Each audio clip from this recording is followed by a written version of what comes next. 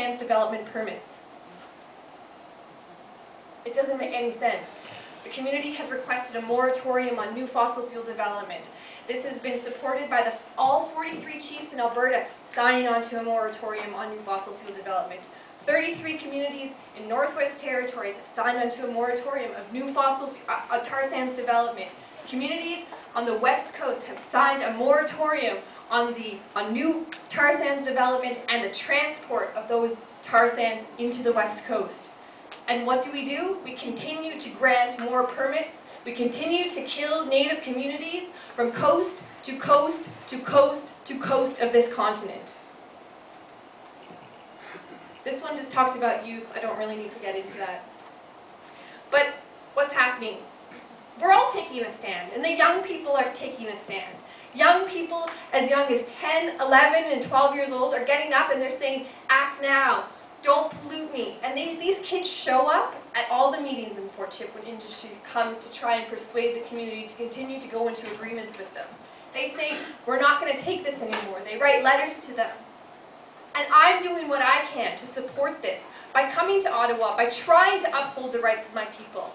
Today, you know what I yelled to, this, to the Parliament? I said, sign the Declaration on the Rights of Indigenous Peoples. Protect these people, protect my community, and I got put in jail for it. Currently, this project has emissions that are going to increase to 187 million tons per year. That's basically doubling where they're at right now.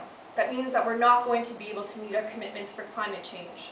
It means that my community is going to be continued, continually destroyed. And all of the rest of the communities across the corridor. And you know, we're coming up to climate negotiations internationally in Copenhagen. And Native people are not at the table. They're, they're told that they don't have a part in this, and they're coming up with mitigation like tactics to, to try and clean up the planet, and they're trying to leave tar sands out of the discussion.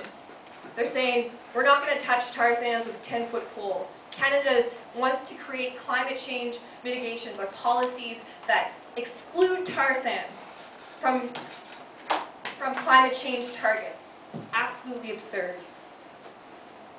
Um, I have another little slide because what is being done? There's a growing resistance, and what can you do, right? I can tell you all this stuff, I can tell you about how my community is being destroyed, I can tell you how awful it is, but there are, there's this growing movement, and Stopping the tar sands. This is also a little bit old, it's a little outdated, but I'll just sort of go through it. So right now, who is funding these projects? It's major financial institutions. How many people have a bank account with the Royal Bank of Canada? It's okay. I do. I'm literally raising my hand because I do. So the banks are going to invest about $100 billion into tar sands expansions. Like our financial institutions are going to put forward $100 billion for this. And RBC has direct funding to the tar sands at about $15.9 billion. 15.9.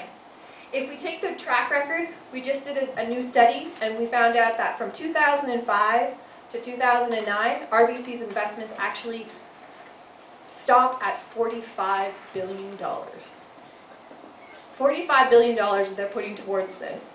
And the CO2 emissions from the projects financed from these financial institutions account for 109, for, from RBC alone, account for 198 million tons of CO2 per year. And that accounts for 34% of the overall emissions. These are the greenhouse gas gangsters. They're funded by giant corporations that are taking our money that we put into our bank accounts and they're using it to destroy native communities across Turtle Island. Just go, keep going, keep going. I just want pictures. Um, you know what, I don't know if there's anything. Basically just a lot of things happening and we're trying to target the Royal Bank of Canada. We're asking them to adopt new policies uh, that respect free, prior and informed consent of the native peoples that they're impacting and that they're destroying through these projects. We're asking them to be accountable for those financed emissions that are going to send, send us off into climate chaos and not allow Canada to meet its climate targets. And we're, we're asking RBC cardholders and account holders to pull their money out of RBC or to tell the bank, we don't want our money going to this project. We're asking to send letters to the, to the CEO, Gord Nixon. We've had members from Fort Chip and the Lubicon territory come out to AGMs and tell them to stop destroying their native communities and respect their free, prior, informed consent. And we're asking RBC shareholders to uphold those rights as well. And there's a growing movement, and I, and I don't have any materials because I literally came from jail from Yes, this. we do. Oh, apparently, yes we do! Taylor has some. They're outside on the table. And they're outside on the table. So, um, I don't think there's really any, well, there's that little one slideshow. It just talks about some of the stuff you can do in your community by maybe going to a branch and harassing them and trying to stop them. And like, you know, handing out information pamphlets which are available for download at www.ran.org slash tar sands.